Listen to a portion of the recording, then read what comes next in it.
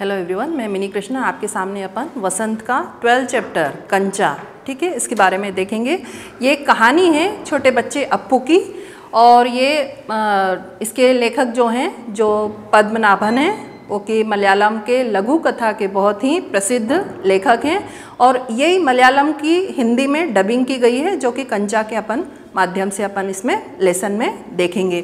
तो ये क्या है? वह नीम के पेड़ों की घनी छाँव से होता हुआ सियार की कहानी। आपने बच्चों, सियार और कौवे की जो कहानी है कि कौवा किस तरह से कर्कश आवाज़ में बैठकर ऊपर काँव काँव करता है और सियार जब उसकी कर्कश आवाज़ नीचे से खड़े होकर सुनता है तो उसको लगता है कि क्यों और उसके मुँह में क्या रहता है? रोटी का टुकड़ा रहता है। आपने ये कहानी सुनी होगी। तो वही कहानी की कल्पना अपने मन में किए हुए हिलते डुलते उसका बस्ता दोनों तरफ़ झूमता, खनकता। स्लेट कभी छोटी शीशी से टकराती तो कभी पेंसिल से। अब पहले के ज़माने में क्या होता था कि जब स्कूल जाते थे तो स्लेट और पेन, उससे लिखना पड़ता था और शीशी रहती थी छोटी पानी की, जिससे कि स्लेट को साफ़ किया जाता था। तो वो सारा सामान उस बच्चे के बैग में हिल डुल रहा था, लेकिन उसका, उसको कोई भी एहसास नहीं हो रहा था। और क्या हो रहा था? मगर वह ना कुछ सुन रहा था, ना कुछ देख रहा था। उसका पूरा ध्यान कहानी पर केंद्रित था। कैसी मज़ेदार कहानी, कौवे और सियार की। सियार कौए से बोला, प्यारे कौए एक गाना गाओ ना। तुम्हारा गाना सुनने के लिए तरस रहा हूँ। अब सियार कितना चालाक था। उसने क्या देखा कि कौवे के मुँह में रोटी का टुकड़ा है।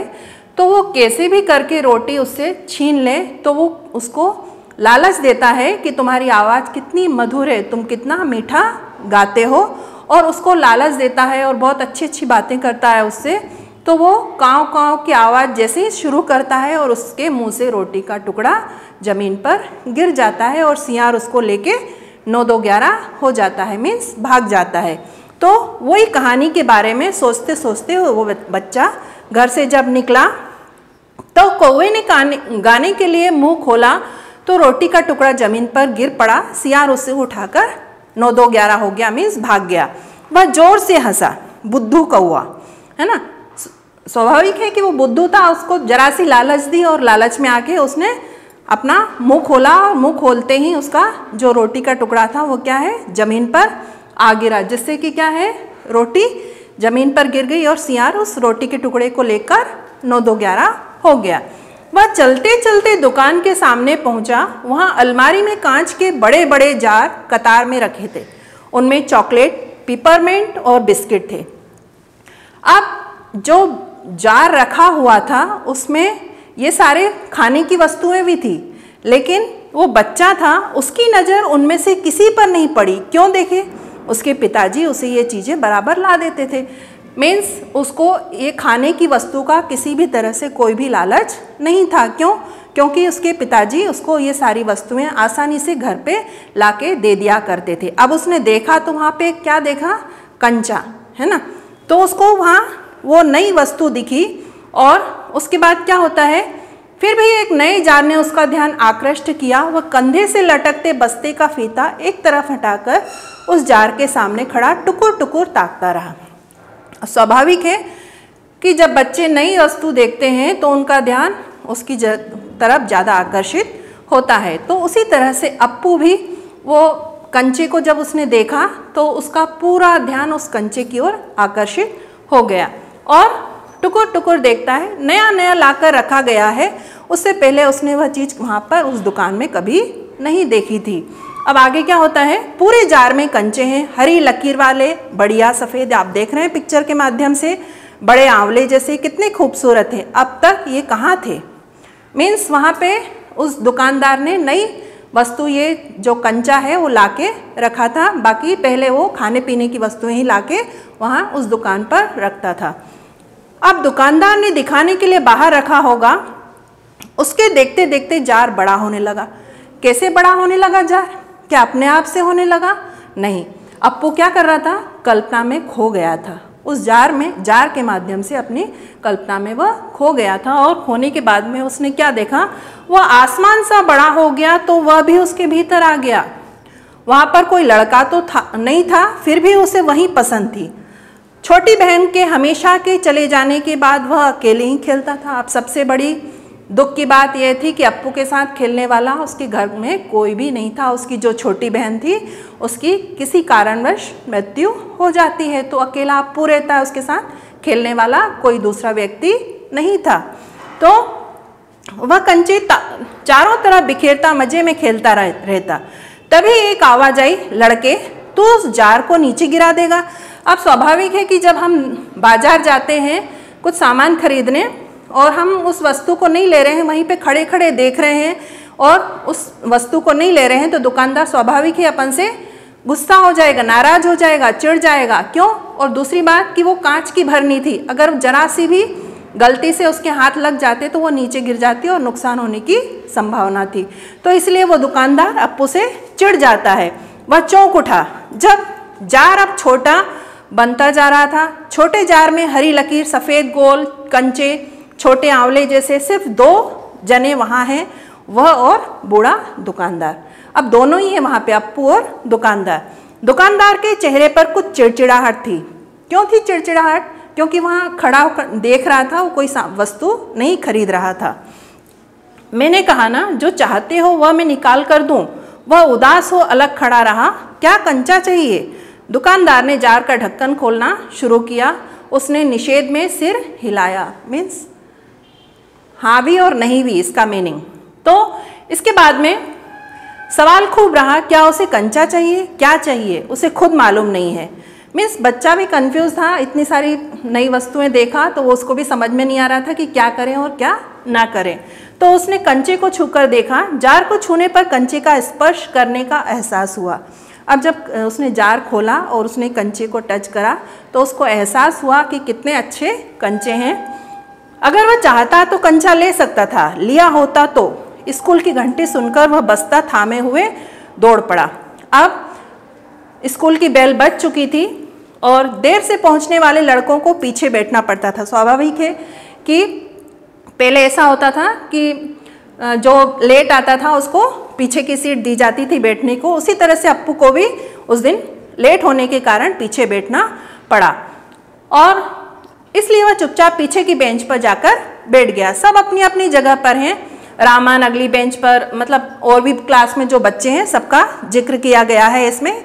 रामन है, मल्लिका है, जॉर्ज है है ना? ये सारे बच्चे वहाँ पे बैठे हुए हैं। लड़कों के बीच जॉर्ज ही सबसे अच्छा कंचे का खिलाड़ी है। अब उसने बताया कि जो जॉर्ज नाम का बच्चा था, वो कंचे का बहुत ही अच्छा खिलाड़ी था, बहुत अच्छा खेलता था।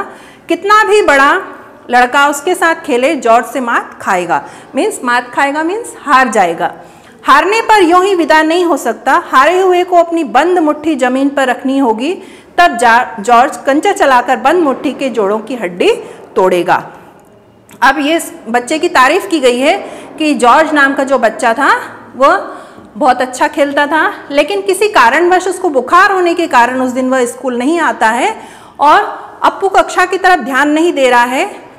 और आगे देखते हैं क्या होता है कि मास्टर जी आते हैं और उसने हड़बड़ी में पुस्तक खोलकर सामने रख ली। अब जैसे तैसे मास्टर जी आए क्लास में तो उसने हड़बड़ी में मीन्स जल्दी में बुक बुक तो खोल के रख दी, लेकिन ध्यान उसका सारा कहाँ पर है? कंचा में है कि मेरे को दुकान छुट्टी होगी और मैं घर निकलूँगा तो कंचा लूँगा। बस उसके दिमाग में वही चल रहा था। तो क्या होता है? मास्टर जी, रेलगाड़ी का सबक था, रेलगाड़ी रेलगाड़ी। पृष्ठ सैंतीस। मास्टर जी, रेलगाड़ी वाला चैप्टर पढ़ाना पढ़ाना चाहते हैं और प्रश्न नंबर भी बता रहे हैं, सैंतीस है। लेकिन घर पर उसने ये पाठ पढ़ लिया था। मास्टर जी बीच बीच में बेंच से बेंच ठोकते, बेंच ठोक रहे। क्यों ठोक रहे थे? क्योंकि बच्चे का ध्यान आकर्षित करने के लिए कि जो मास्टर जी बोल रहे थे कि वो अच्छे से बच्चे सुने। तो क्या होता है? आवाज़ में कह देते, बच्चों, मैं तुमसे कोई कहीं ने रेलगाड़ी देखी होगी। उसे भाप की गाड़ी भी कहते हैं। भाप की गाड़ी मीन्स भाप से चलती है, क्योंकि उसका यंत्र भाप की शक्ति से ही चलता है। भाप का मतलब है पानी से निकलती भाप। तुम लोगों के घरों में चूल्हे में भी है। अप्पू ने भी सोचा, रेलगाड़ी, उसने रेलगाड़ी देखी है? छुक छुक। यही रेलगाड़ी व भाप की भी गाड़ी का मतलब। तो वो चैप्टर इन्होंने बहुत अच्छे से उस बच्चे को पढ़ लिया था उसने घर में तो उसको समझ में आ गया था।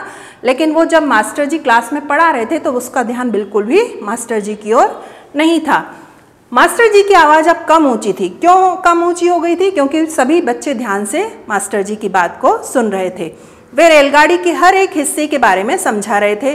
पानी रखने के लिए खास जगह है, इसे अंग्रेज़ी में बॉयलर कहते हैं। यह लोहे का बड़ा पीपा होता है। ठीक है मास्टर जी बच्चों को समझा रहे हैं। लोहे का एक बड़ा कांच का जार, उसमें हरी लकीर, सफ़ेद गोल कंची, बड़े आंवले जैसे।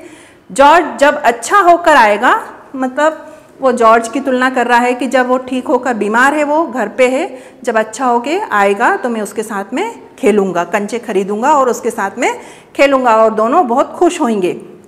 उसके बाद में क्या होता है, अचानक से क्या होता है, वो क्लास में बैठे बैठे कहीं खो जाता है। तो मास्टर जी क्या करते हैं कि एक चौक का टुकड़ा लेते हैं और उसकी ओर फेंकते हैं। क्यों फेंकते हैं? क्योंकि उसका ध्यान पढ़ाई में नहीं था। उसका ध्यान आकर्षित करने के लिए मास्टर जी उसके चेहरे पर चौक का टुकड़ा आ गिरा। अनुभव के कारण वो उठकर खड़ा हो गया। मीन्स वो घबरा गया एकदम से। जैसे ही उसके ऊपर चौक का टुकड़ा आके गिरा, वह घबरा गया और खड़ा हो गया। मास्टर जी गुस्से में, अरे, तू उधर क्या कर रहा है? उसका दम घुट रहा था। बोल। वह खामोश खड़ा रहा। क्या नहीं बोलेगा? मीन्स मास्टर जी कहना चाहते थे कि, कि वो कौन सा चैप्टर पढ़ा रहे थे उसका ध्यान कहाँ था उसका ध्यान आकर्षित करने के लिए उन्होंने एक चौक के टुकड़े फेंक कर उसका ध्यान अपनी ओर आकर्षित करने के लिए ऐसा किया। वह आगे क्या होता है? वह खामोश खड़ा क्या नहीं बोलेगा। वे अप्पू के पास पहुँचे सारी कक्षा सांस रोके हुए उसी तरफ़ देख रही थी। उसकी घबराहट और बढ़ गई। तो क्या होता है? अब वो मैं अभी किसके बारे में बता रहा था? ये कौन पूछ रहा है? मास्टर जी, अप्पू से पूछते हैं कि मैं किस चैप्टर के बारे में क्या समझा रहा था? आप बताओ करके। तो कर्मठ मास्टर जी उस लड़के का चेहरा देखकर समझ गए कि उसके मन में और कुछ है। शायद उसने पाठ पर ध्यान भी ना दिया हो। अगर दिया है तो उसका जवाब उसके मन से बाहर ले आना है। इसी में उनकी सफलता है। हाँ हाँ बता, डरना मत। मास्टर जी ने देखा, अप्पू की जवान पर जवाब था हाँ हाँ। वह कांपते हुए बोला, अब उसके दिमाग में क्या चल रहा था? कंचा ही कंचा चल रहा था और मास्टर जी क्या रेलगाड़ी वाला चैप्टर समझा रहे थे, लेकिन जब मास्टर जी उससे आंसर पूछते हैं तो वो क्या बोलता है? कंचा कंचा। ठीक है? तो वे सकपका गए। कक्षा में भूचाल आ गया। स्टैंड अप मास्टर साहब की आँखों में चिंगारियाँ सुलग गई। चिंगारियाँ मीन्स मास्टर जी को बहुत गुस्सा आया कि ये मैं इसको रेलगाड़ी वाला चैप्टर समझा रहा हूँ और ये कंचा कंचा कर रहा है। तो अप्पू रोता हुआ बेंच पर चढ़ा। पड़ोसी कक्षा की टीचर ने दरवाजे से झाँक कर देखा, फिर सम्मिलित हँसी। अब किसी को पनिशमेंट मिलती है तो सारे बच्चे स्वाभाविक है कि मज़ाक उड़ाते हैं, हँसते हैं। तो उसी तरह से उस अप्पू के साथ भी किया गया कि जब वो बेंच पे खड़ा किया गया तो सारे बच्चे उसका मज़ाक उड़ा के हंसने लगे। रोते रोते उसका दुख बढ़ता ही गया। सब उसकी तरफ़ देख देख कर उसकी हँसी उड़ा रहे थे। रामन मल्लिका सब। अब बेंच पर खड़े खड़े उसने सोचा, दिखा दूँगा सबको, जॉर्ज को आने दो। जॉर्ज नहीं बुलाएगा कंचे को देख लेगा, ये ललचाएँगे इतने खूबसूरत कंचे हैं। हरे लकीर वाले और ये तारीफ़ बता रहा है कि किस किससे, कैसे कैसे रंग के हैं। और इसके बाद में क्या होता है कि मास्टर जी ने उस घंटे का सबक समाप्त किया। क्या किसी से को कोई शक है? अप्पू की शंका अभी दूर नहीं हुई थी। वह सोच रहा था, क्या जॉर्ज को साथ ले चलने पर दुकानदार कंचा नहीं देगा? अगर खरीदना ही पड़े तो कितने पैसे लेंगे? तो ये क्या होता है? फिर वो बच्चा फिर चालाकी करता है कि थोड़ी देर बाद उस क्लास में प्यून जो रहता है, अपने काम करने वाले, वो आता है और पूछते हैं कि कौन कौन बच्चे फ़ीस लेके आए हैं तो वो जाके ऑफ़िस में जमा कर दें। तो उसके पेरेंट्स जो अप्पू के हैं, वो फ़ीस के लिए कुछ पैसे उसको देते हैं। तो वो फ़ीस ना भर के वो क्या करता है, जब क्लास छूटती है तो जाके कंचे खरीदता है और कंचे खरीद के वह जाके अपने घर में उसकी माताजी को सही सही बताता है कि मैंने जो पैसे दिए थे पापा ने तो मैंने उससे क्या करा? कंचे खरीद लिए और जब उसकी माँ, वो सोचता है कि मैं जब माँ को बताऊँगा तो माँ मुझे डांटेगी। लेकिन माँ ऐसा नहीं करती है। क्यों नहीं करती है? क्योंकि उसकी जो छोटी बहन थी, उसकी अकाल मृत्यु हो जाती है और उसके साथ में खेलने वाला कोई भी नहीं था अप्पू के साथ में। तो ये कहानी एक, ये बताया गया है कि इसमें कि किस तरह से हमारा ध्यान, जब हम स्कूल से घर निकलते हैं तो कोई वस्तु को देखकर हमारी ध्यान उस ओर आकर्षित हो जाता है।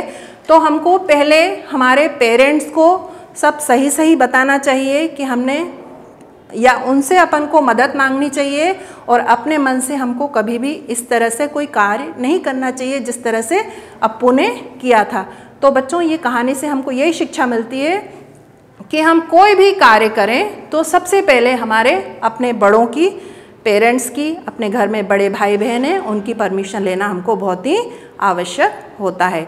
तो इसके क्वेश्चन आंसर आपको पीडीएफ फ़ाइल में मैंने डाल दिए गए हैं और आगे के चैप्टर अपन अगली कक्षा में कंटिन्यू करेंगे। धन्यवाद।